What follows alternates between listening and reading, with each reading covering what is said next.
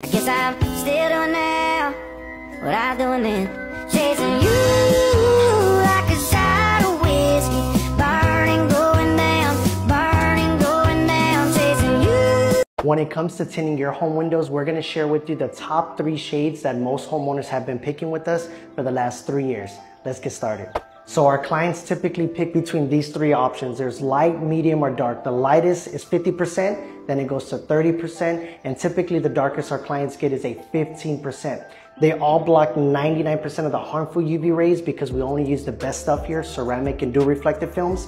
But even if you get the lightest shade, you're still gonna block over 50% of heat.